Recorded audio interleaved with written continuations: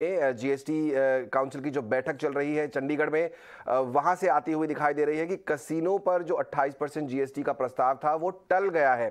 Delta corp आपके सामने 5 percent ऊपर एक जोरदार टिक के साथ। यहाँ पर आपको याद दिला दें कि कसिनो हॉर्स रेसिंग और इस तरह के जो गेम्स हैं ऑनलाइन गेमिंग इन पर प्रस्ताव था कि टैक्स लगाया जाए। ये चर्चा चल रही थी कि शायद अट्ठाईस तक का टैक्स लगेगा, लेकिन वो फ़िलहाल टल गया है। आज की जो बैठक चल रही है, ये सूत्रों के हवाले से खबर खबर आ रही है कि यहाँ पर कोई फैसला अभी नहीं हुआ है, इसको टाल दिया गया है। तो इसकी वजह से हम देख सकते हैं कि डेल्टा कॉप एक बड़ी कंपनी है, जिसका गोवा में जो है बड़ा बिज़नेस है और साथ ही साथ नॉर्थ ईस्ट में भी इनका बड़ा बिज़नेस है कसिनो से जुड़ा हुआ। सरकार लगातार कोशिश कर रही है कि इसको दायरे में लाया जाए और चर्चा किया जाए, चर्चा की जाए, टैक्स किस तरह से लगाया जाए इन सब पर। लेकिन जीएसटी की बैठक में, जीएसटी के दायरे में तो फ़िलहाल नहीं आए हैं और हम देख रहे हैं कि जो अट्ठाईस परसेंट जीएसटी का प्रस्ताव दिया गया था वो प्रस्ताव फ़िलहाल टलता हुआ दिख रहा है। पहले दिन की बैठक में एक ट्रिब्यूनल बनाने की बात ज़रूर की गई। वो फैसला हुआ था। आज शाम को चार बजे वित्त मंत्री जी एक प्रेस कॉन्फ्रेंस करने वाली हैं और क्या क्या डिटेल्स निकल कर आएँगी, वो चार बजे आपको पता लगेगा यहाँ पर। लेकिन इस समय की बड़ी खबर ये कि 28 परसेंट जी का जो प्रस्ताव है, कसिनो बिज़नेस पर वो टलता हुआ दिख रहा है। डेल्टा कॉप सबसे बड़ा बेनिफिशरी आपके सामने इस समय साढ़े छः की परसेंट की तेज़ी के साथ।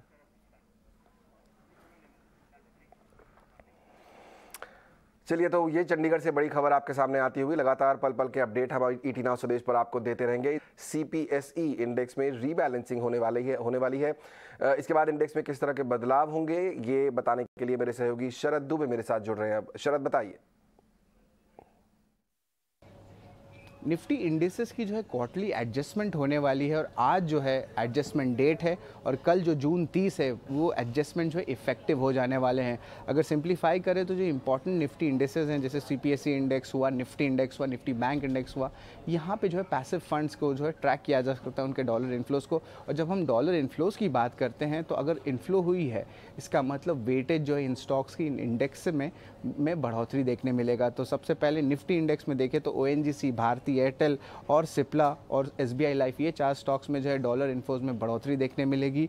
और जो आउटफ्लोज की बात करें तो एस लाइफ रिलायंस इन्फोसिस यू और TCS के स्टॉक्स रहने वाले हैं। सी इंडेक्स जो होती है पब्लिक सेक्टर इंडेक्स आपके गवर्नमेंट की, यहाँ पे देखेंगे ONGC का सबसे बड़ा डॉलर इन्फ्लो जो है देखने मिल रहा है। लगभग 77 डॉलर्स का का जो है इनफ्लो का अनुमान है।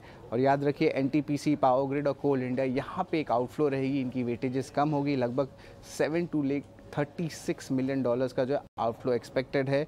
और ईडल वाइज जो है एक्सपेक्ट कर रही है ये सारे डॉलर इनफ्लोज और आउटफ्लोज और बैंकिंग में भी बात करें तो एक्सिस बैंक और एसबीआई में डॉलर इनफ्लो की गेन होगी। लगभग 12 टू 43 मिलियन डॉलर्स का इनफ्लोज एक्सपेक्टेड है। हालाँकि एच बैंक और बड़े दिग्गज आई बैंक और कोटक बैंक यहाँ पे जो है डॉलर आउटफ्लोज रहेगा लगभग 14 टू 32 मिलियन डॉलर्स का। बिल्कुल तो वेटेज में भी चेंज होगा और संभावित निवेश आपके सामने। बहुत शुक्रिया, शरद पूरे अपडेट के लिए। चलिए, फ़िलहाल